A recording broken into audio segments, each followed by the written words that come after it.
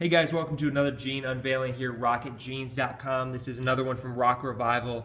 Um, these are the Angie B18 boot cut.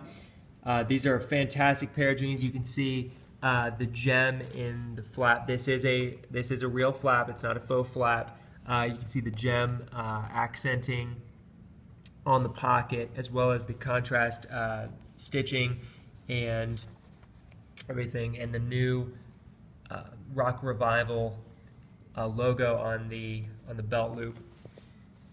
And if we open these jeans up, these are a bit of a lighter jean uh, for you ladies. And if we take a look, um, you can see they're a bit lighter, uh, not not as much bleaching uh, to be noticed, but they are a fantastic pair of jeans. And you can see on the side, the side stitching has the same, uh, the accenting um, foil stitching. And um, if we open them up, you can take a look at the front.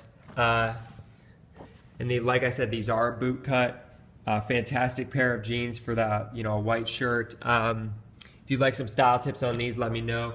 If you like this pair of jeans, mash that like button and uh, subscribe to our videos. We'll be posting all kinds of other awesome stuff from Rock Revival, Miss Me, uh, you name it, as we get it in stock. If you like these, go ahead and check the description and click on the link and it'll take you straight to rockitjeans.com where these are uh, on sale.